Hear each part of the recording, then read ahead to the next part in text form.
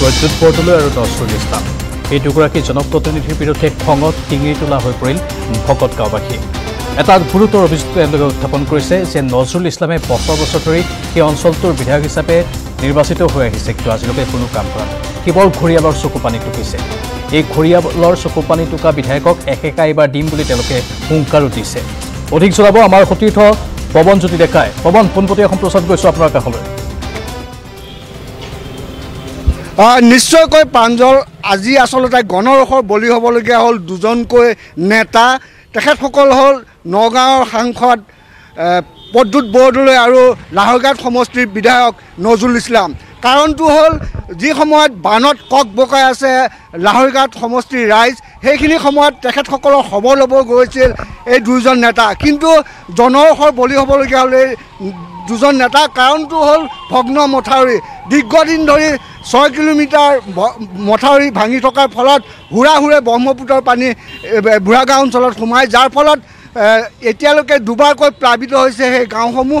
সেই যি তেখেতসকলৰ সুপ সেই সুপ উজাৰিবলৈ গৈ আচলতে বহু খেদা দিলে দুজনকৈ কংগ্ৰেছী নেতাক আৰু ইয়াকে লৈ সমগ্ৰ অঞ্চলত তীব্ৰ চাঞ্চল্যৰ সৃষ্টি হৈছে আৰু যি তেখেতসকলে আচলতে বুঢ়াগাঁৱলৈ গৈছিল আজি পুৱা ভাগতে কিন্তু বুঢ়াগাঁওবাসী ৰাইজে তেখেতসকলক স- সোমাবলৈ হাক দিলে আৰু তেখেতসকলক তাৰ পৰা পঠিয়াই দিলে। কিয়নো সেই মই উল্লেখ কৰিছোঁৱে যে মথাউৰি ভগ্ন মথাউৰি যাৰ ফলত ঘনে ঘনে প্লাৱিত হয় এই অঞ্চলসমূহৰ সেই খবৰ ল'ব যোৱা এই দুজন নেতাক আচলতে পহু খেদা দিয়ে গাঁৱৰ ৰাইজে। আৰু এই তেখেতসকলৰ লগত আচলতে যি আৰক্ষী আছিল আৰক্ষীৰ লগতো হতাহতি এটা পৰিৱেশ আহি পৰে।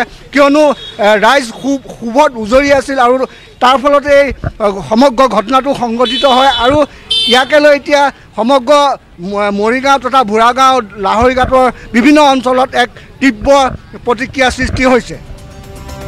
ধন্যবাদ জনাইছোঁ পৱন এইখিনি তথ্যৰ বাবে। তীব্ৰ প্ৰতিক্ৰিয়াৰ সৃষ্টি হৈছে। আগন্তুক দিনত তেওঁলোকে নিৰ্বাচনত ইয়াৰ ফলাফলসমূহ দিব বুলি উল্লেখ কৰিছে। এই জনপ্ৰতিনিধিয়ে ইয়াৰ ফল পাব বুলি কৈছে। আন এটা খবৰ যিটো খবৰ এতিয়া বহু লোকৰ বাবে এক চিন্তনীয় বিষয়। ৰাজ্যত এতিয়া ঔষধৰ নাটনি হৈছে।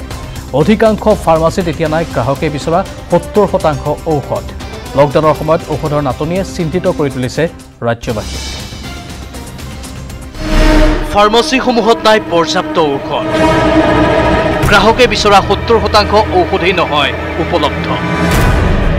পুনৰ ৰাজ্যত দেখা দিব নেকি ঔষধৰ নাটনিয়ে? কিয়নো অধিকাংশ ঔষধেই উপলব্ধ নহয় ফাৰ্মাচীসমূহত। ঊনত্ৰিছ জুনৰ পৰা লকডাউন আৰম্ভ হোৱা গুৱাহাটীত প্ৰথম অৱস্থাত বন্ধ ৰখা হৈছিল মেডিচিন ডিষ্ট্ৰিবিউটৰ আৰু চি এন এফ। ফলত ৰাজ্যত দেখা দিছিল ঔষধৰ নাটনিয়ে পৰৱৰ্তী সময়ত মেডিচিন ডিষ্ট্ৰিবিউচনৰ বাবে চৰকাৰে অনুমতি প্ৰদান কৰে যদিও ফাৰ্মাচীসমূহ সন্মুখীন হৈছে সমস্যাৰ।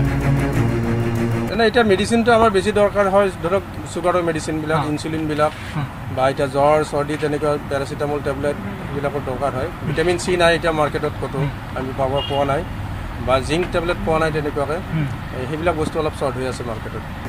আন একাংশ ফাৰ্মাচীৰ দাবী গ্ৰাহকে বিচৰা সত্তৰ শতাংশ ঔষধেই নহয় উপলব্ধ। পৰ্যাপ্ত ঔষধ যোগান ধৰিব পৰা নাই হোলচেলাৰসকলেও।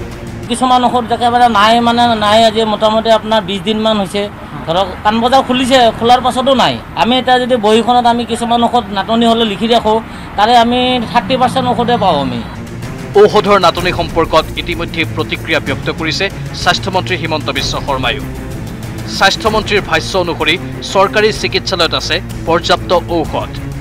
কিন্তু ফাৰ্মাচীসমূহত দেখা দিয়া ঔষধৰ নাটনিয়ে দুৰ্ভোগ ভোগাব জনসাধাৰণকেই। কেমেৰা পাৰ্চন নিতুল কৃষ্ণৰ সহযোগত Kunjan Kalita news eighteen Assam north east. চৰকাৰী চিকিৎসালয়ত ঔষধ আছে কিন্তু ফাৰ্মাচীত ঔষধ নাই। আমি যোগাযোগ স্থাপন কৰিছোঁ জ্যেষ্ঠ চিকিৎসক ডক্টৰ বিকাশ ৰায় দাসৰ সৈতে। তেওঁ আমাৰ সৈতে লাইভত আছে। লগতে আমাৰ সতীৰ্থ সাংবাদিক কুঞ্জনো আছে আমাৰ সৈতে ফোন লাইনত যিহেতু তেওঁ এই ৰিপৰ্টটো যুগুতাইছে। প্ৰথমে ডক্টৰ বিকাশ ৰায় দাস আপোনাৰ কাষলৈ গৈছোঁ। চৰকাৰী চিকিৎসালয়ত ঔষধ আছে বুলি কৈছে হিমন্ত বিশ্ব শৰ্মাই। কিন্তু ফাৰ্মাচীত যদি ঔষধ নাথাকে সকলোৱেতো এই ঔষধ নাপাব চৰকাৰী চিকিৎসালয়ৰ ঔষধ জানো সাধাৰণজনে পাব। আচলতে ঔষধৰ বহুত ক্ষেত্ৰত কেইটা কাৰণৰ কাৰণে হৈছে। আমি যেনে ডাউনটো আগবাঢ়িব লাগিছিল কাম কৰা নহ'ল আচলতে। কাৰণে এনেকুৱা ধৰণৰ সৃষ্টি হ'ল।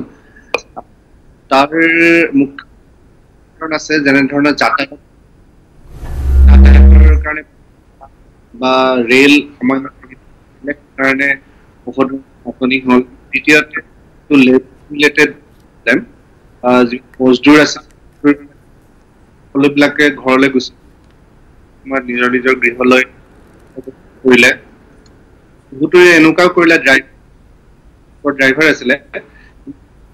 ট্ৰাকখন এৰি থৈ তেওঁলোকে নিজৰ গতিকে ট্ৰাকবিলাক সেই ধাবাত তেনেকুৱা ধৰণৰ মজদুৰ কাৰণে বা তেনেকুৱা কৰা মানুহৰ কাৰণেও হয়। আহ, সময়ত নাপালে তৃতীয়টো ডাক ধাবাত কুৰিয়াৰৰ, আহ, নচলিল সেইটো কাৰণে। আৰু চতুৰ্থতে। যিটো এটা বিকাশ